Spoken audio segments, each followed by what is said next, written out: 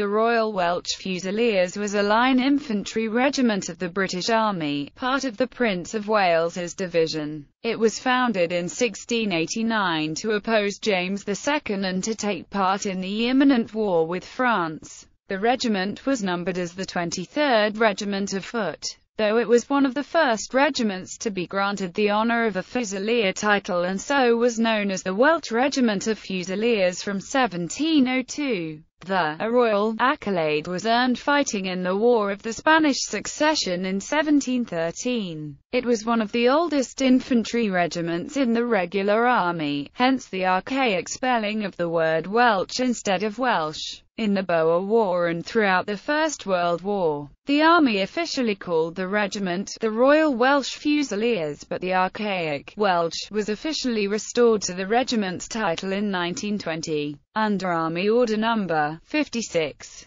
During those decades, the regiment itself unofficially used the Welch form. The regiment was amalgamated with the Royal Regiment of Wales on 1 March 2006, to become the 1st Battalion, Royal Welsh. The regiment primarily recruited from North Wales. It should not be confused with the Welch Regiment, which recruited from South and West Wales. History the Royal Welch Fusiliers were formed by Lord Henry Herbert at Ludlow in March 1689 to oppose James II and to take part in the imminent war with France. The regiment continued to have ties with the town of Ludlow for example marching through having completed active service in Bosnia-Herzegovina in 1997, and its successor battalion in the Royal Welsh Regiment was granted the freedom of the town in 2014. The regiment served in the Williamite War, fighting at the battles of the Boyne and Aughrim.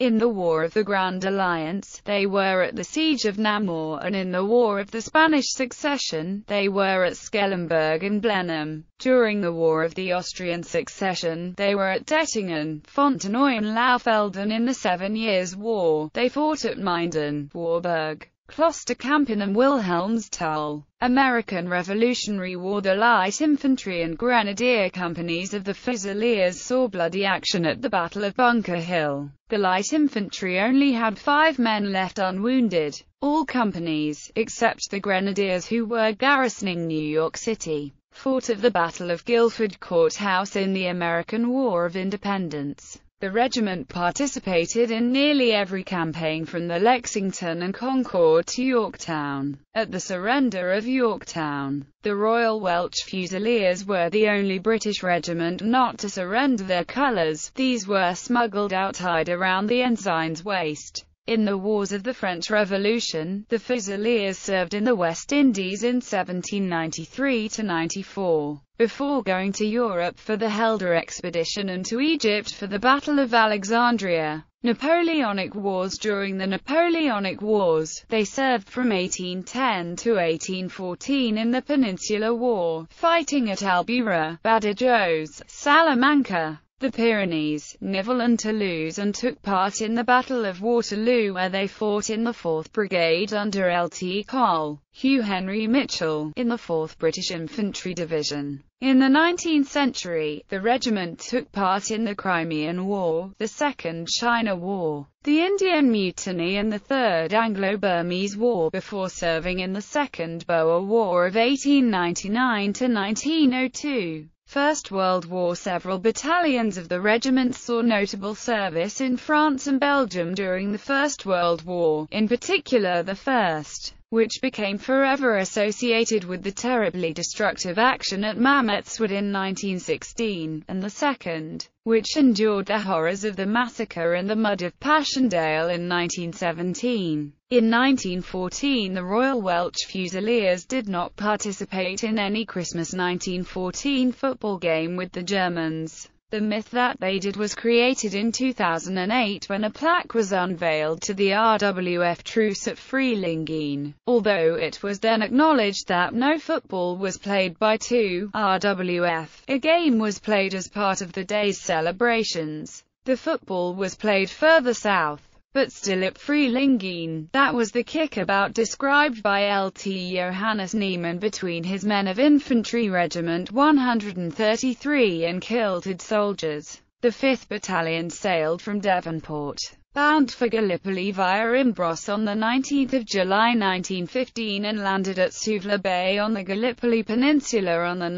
August 1915. The division was evacuated from Gallipoli during December 1915 and moved to Egypt. The evacuation was forced by a combination of combat, disease and harsh weather which saw the division reduced to just 162 officers and 2,428 men, approximately 15% of full strength. During this war, several writers served with various battalions of the regiment in France, including the poets Siegfried Sassoon, Robert Graves, David Jones and Hedd Wyn. Their memoirs, including Graves' Goodbye to All That, have resulted in the activities of this regiment being vividly recorded for posterity. Captain J.C. Dunn, a medical officer attached to the regiment's 2nd Battalion, compiled a chronicle of that unit's experiences during its more than four years of service in France and Belgium. His epic, The War the Infantry Knew, has become a classic among military historians for its comprehensive treatment of all aspects of daily life and death in the trenches.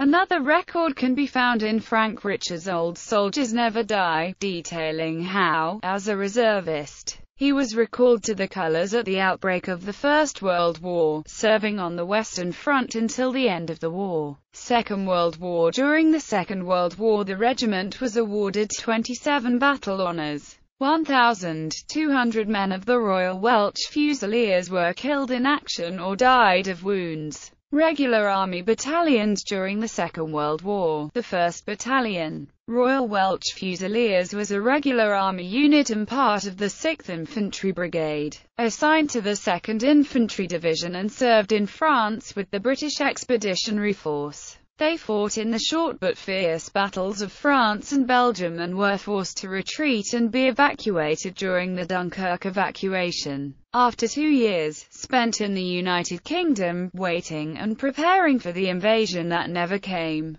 the 1st RWF and the rest of 2nd Division were sent to British India to fight the Imperial Japanese Army after a string of defeats inflicted upon the British and Indian troops. They were involved in the Burma campaign and particularly the Battle of Kohima, nicknamed Stalingrad of the East due to the ferocity of fighting on both sides. That helped to turn of the campaign in the Southeast Asian theatre. The 2nd Battalion also served in British India during the war as part of the 29th Independent Infantry Brigade. The battalion fought with the brigade throughout the war and served in the Battle of Madagascar in 1942 against the Vichy French. It was transferred to the Southeast Asian Theatre soon after. In 1944 the battalion and brigade became part of 36th British Infantry Division, previously an Indian Army formation. Both the 1st and 2nd Battalions came under the command of Lieutenant General Bill Slim, commander of the British 14th Army,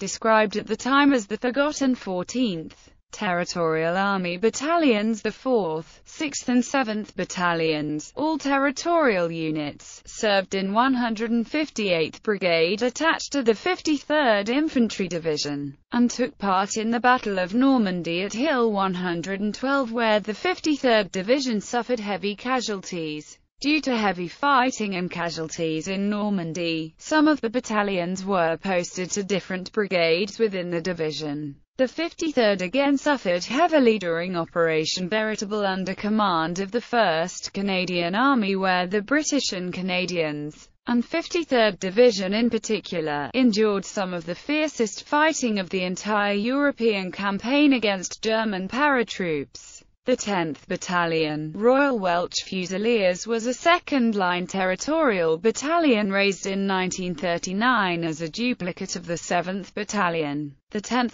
RWF served with the 8th and 9th Battalions in the 115th Brigade, 38th Division, itself a second-line duplicate of the 53rd Division. The 10th was selected to be converted, in the summer of 1942, into the 6th Battalion, Parachute Regiment. The 6th Parachute Battalion was assigned to the 2nd Parachute Brigade, alongside the 4th and 5th Parachute Battalions. Originally part of the 1st Airborne Division, the battalion played a small part in the Allied invasion of Italy during Operation Slapstick, an amphibious landing aimed at capturing the port of Taranto. After that the 2nd Para Brigade became an independent brigade group. The brigade took part in Operation Dragoon, the Allied invasion of southern France, being the only British troops to do so. They went back to Italy before being sent to Greece to help calm the Greek Civil War. War service battalions The regiment also raised the 10th, 11th, 12th and 13th battalions, all during the course of the war. The 5th Battalion was a first-line unit that was converted, before the war, into the 60th Anti-Tank Regiment. Royal Artillery in the Royal Artilleryne, in 1939, raised a second-line duplicate, the 70th Anti-Tank Regiment.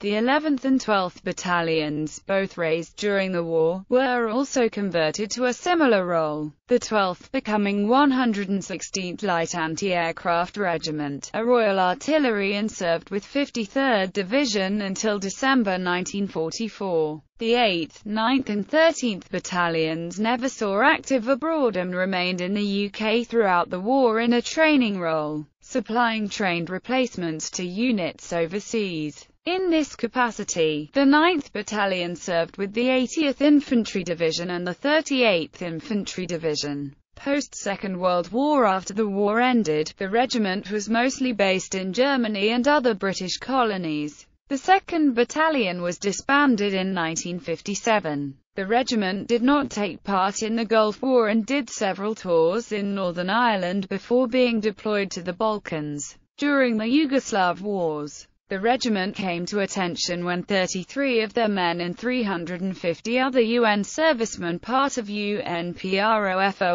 were taken hostage by Bosnian Serbs at Goražde in 28. May 1995. The situation caused some political debate as the UN troops had been given orders only to deter attacks, and did not have a mandate or adequate equipment to fully defend the mainly Muslim town of Goražde, which was initially declared safe by the UN, thus rendering them exposed when armed members of the Army of Republika Srpska ignored the NATO ultimatum and attacked the town without warning. The regiment managed to hold off the Bosnian Serbs until they were forced to retreat into bunkers. Those who did not make it quickly enough were taken hostage, and remained trapped underground while BiH army reinforcements arrived and fought back. The commanding officer LT Colonel Jonathan Riley broke with protocol and directly reported to then Prime Minister John Major about the situation over the phone while in the bunker. All the men were eventually safely rescued. Although the incident was largely unreported at that time, the regiment was credited in hindsight by observers for saving the town from a possible genocide. After failing to take Goražde the Bosnian Serbs continued south to Srebrenica where they would massacre over 8,000 Bosniaks. Amalgamation It was one of only five line infantry regiments never to have been amalgamated in its entire history, the others being the Royal Scots, the Green Howards, the Cheshire Regiment, and the King's Own Scottish Borderers. However, in 2004 it was announced that, as part of the restructuring of the infantry, the Royal Welch Fusiliers would merge with the Royal Regiment of Wales to form a new large regiment, the Royal Welsh Regimental Goat. As with the Royal Regiment of Wales, the regiment traditionally had a goat, never called a mascot. The tradition dated back to at least 1775, and possibly to the regiment's formation. The goat was always named Billy. Uniform. Soldiers of this regiment were distinguishable by the unique feature of the flash, consisting of five overlapping black silk ribbons on the back of the uniform jacket at neck level. This is a legacy of the days when it was normal for soldiers to wear pigtails. In 1808, this practice was discontinued but when the order was issued the RWF were serving in Nova Scotia and had not received the instruction when the regiment departed to join an expedition to the West Indies. In 1834 the officers of the 23rd Foot were finally granted permission by William IV to wear this non-regulation item as a distinction on the full dress uniform as a peculiarity whereby to mark the dress of that distinguished regiment. This was extended to all ranks in 1900. Khaki service dress replaced the scarlet tunic as the principal uniform, and the Army Council attempted to remove the flash during the First World War citing the grounds that it would help the Germans identify which unit was facing them. As Fusilier officer Robert Graves reported, the regiment retorted by inquiring on what occasion since the retreat from Corunna, when the regiment was the last to leave Spain, with the keys of the town postern in the pocket of one of its officers. Had any of His Majesty's enemies seen the back of a Royal Welch Fusilier, and the matter remained in abeyance throughout the war, the efforts of the regiment to retain the distinction was further reinforced at a medal ceremony when King George V saw an officer of the regiment in the line. He ordered an about turn and seeing the flash still on the tunic said sotto voce, don't ever let anyone take it from you. The wearing of the flash-on service dress was extended to other ranks in 1924. As a Fusilier regiment, the RWF wore a hackle, which consisted of a plume of white feathers mounted behind the cap badge of the modern beret. The full dress of the Royal Welch Fusiliers, as worn by the entire regiment until 1914, included a raccoon skin hat with a white hackle and a scarlet tunic with the dark blue facings of a royal regiment. This uniform continued to be worn by the RWF score of drums and the regimental pioneers until the merger of 2006. Museum The Royal Welch Fusiliers Museum is located in Caernarfon, Wales. Bibliography Westlake, Ray, English and Welsh Infantry Regiments. An illustrated record of service. Staplehurst. Spellmount. ISBN 1-86227-147-X.